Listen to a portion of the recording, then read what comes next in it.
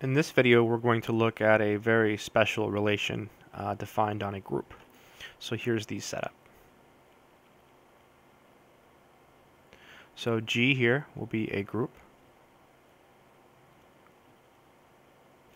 And H will be a subgroup of G.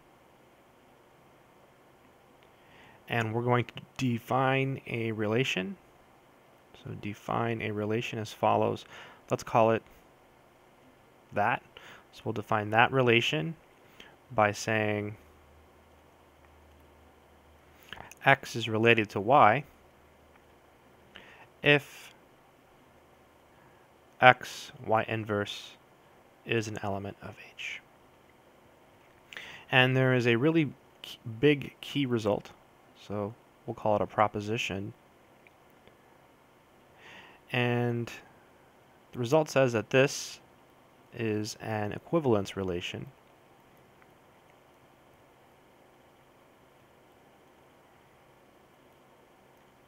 on G. So let's go ahead and prove that. Let's prove it carefully. So to show it's an equivalence relation, this uh, relation that we defined, we have to show it's reflexive, symmetric, and transitive. So we'll start by proving reflexivity. So suppose x is in G. Then we need to show that x times x inverse is in H.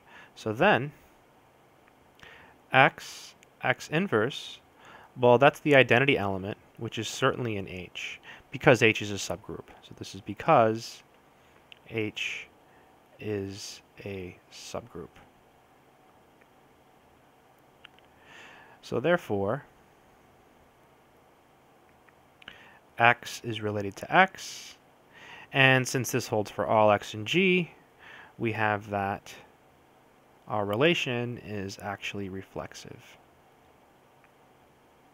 So that shows reflexivity. Now we have to show that this relation is in fact transitive.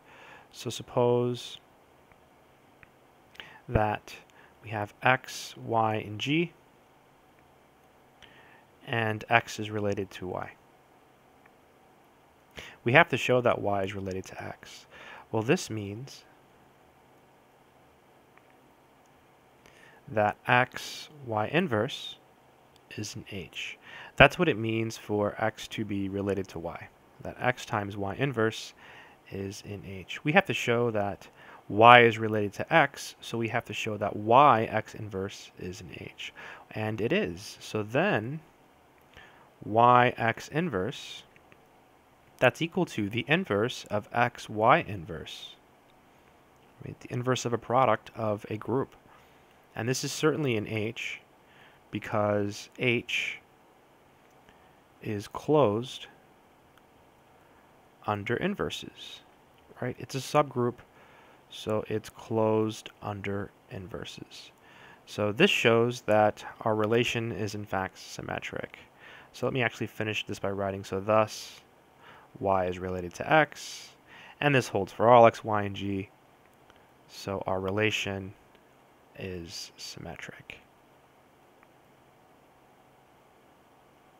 The last thing to show is that our relation is transitive, and then we're done, and we've shown it's an equivalence relation. So lastly, suppose that x is related to y, and y is related to z.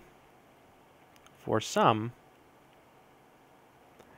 x, y, and z in G.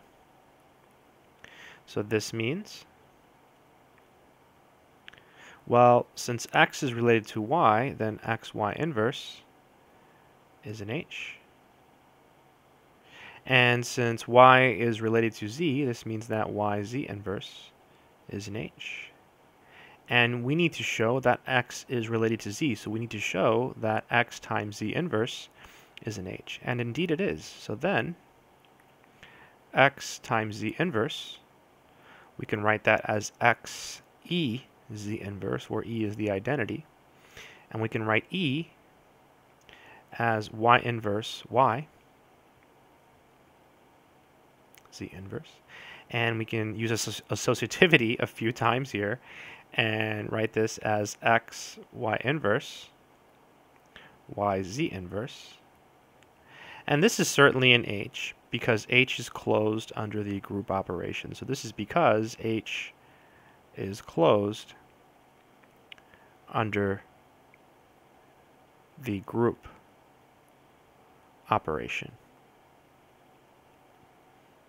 Right? Because this here is an H, this here is an H. H is a subgroup, so it's closed under the group operation, so the product is also an H. So this means, or this shows,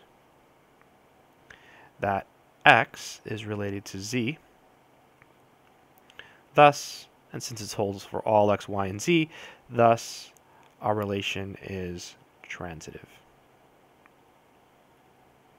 So we've proven that our relation is reflexive, symmetric, and transitive, so therefore our special relation is an equivalence relation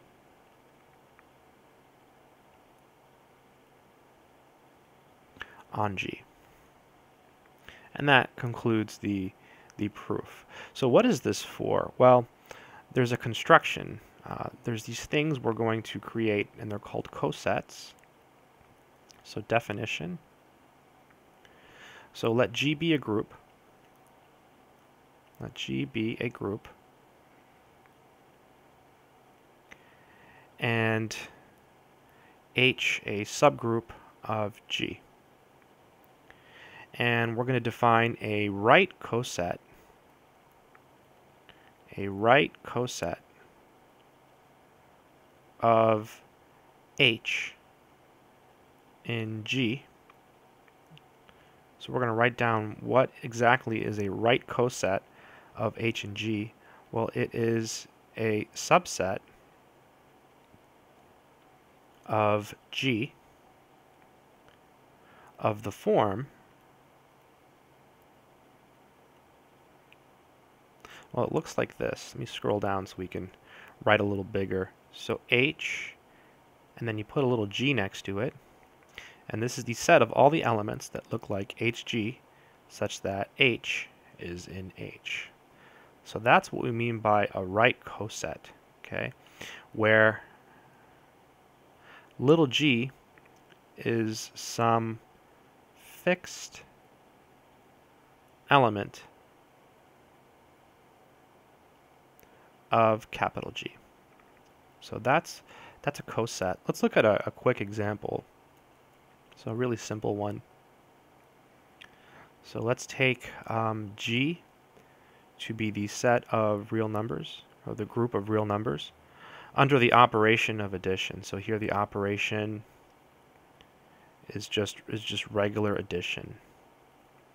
And we'll take a subgroup H h will be the set of integers. It's certainly a subgroup of the real numbers under uh, the basic operation of addition. And for example, a coset here could be, you could take z and then add maybe 1 half.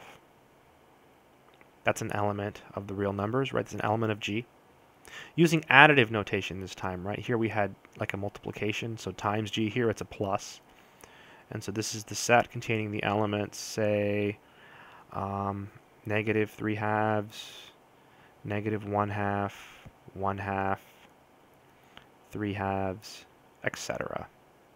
So this would be a right coset. A right coset. So there's one more result that we need uh, to go further. So proposition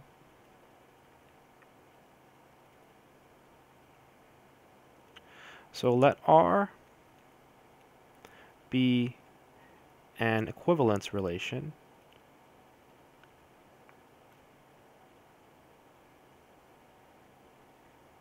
on S, then for all S1, S2, and S, we have that S1 is related to S2 if and only if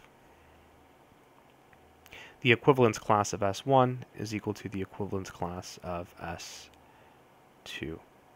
Let's go ahead and give a really, really quick proof of this. Um, so let's do it. So proof. We'll start by assuming that S1 is related to S2. So suppose S1 is related to S2. And we have to show that the equivalence class of S1 is equal to the equivalence class of S2. So we have to show they're subsets of each other. So take, take some y in the equivalence class of S1. And that means that y is related to S1. Now, since y is related to S1 and S1 is related to S2, we have that y is related to S2 by transitivity. Transitivity. And this means that y is in the equivalence class of S2. So this means that y is in the equivalence class of S2. So we've shown that the equivalence class of S1 is contained in the equivalence class of S2. So now we have to prove the other direction. So take y in the equivalence class of S2. And so this means that y is related to S2. And now we have to show that y is in the equivalence class of S1. So let's see what we have. We have that S1 is related to S2, and we have that Y is related to S2. So let's start maybe by using symmetry on this piece here. So since S1 is related to S2, we have S2 related to S1 by symmetry. And now we can invoke transitivity. So since y is related to S2 and S2 is related to S1, I'll put parentheses here and an arrow.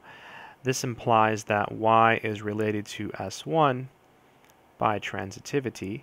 Transitivity. And so this means that y is in the equivalence class of S1. So this shows, so this shows that the equivalence class of S2 is contained in the equivalence class of S1. So therefore, we've shown the containment both ways. The equivalence class of S1 is equal to the equivalence class of S2. So that was, I believe, the long direction of the proof. I haven't done this problem in a while. Now we have to assume that the equivalence classes are the same, and we have to show that S1 is related to S2. So let's do it. So suppose this time that the equivalence class of S1 is equal to the equivalence class of S2. Okay, and we have to show that S1 is related to S2. So then, well, S1, that's in the equivalence class of S1. By reflexivity, it's not empty. And this is equal to the equivalence class of S2. So S1 is in the equivalence class of S2. Let me write that down again. So S1 is in the equivalence class of S2. Well, by definition of equivalence class, that means that S1 is related to S2. Wow, that was really easy. so, and that completes that completes the the proof. So I hope this video has helped. Um, yeah, that's it.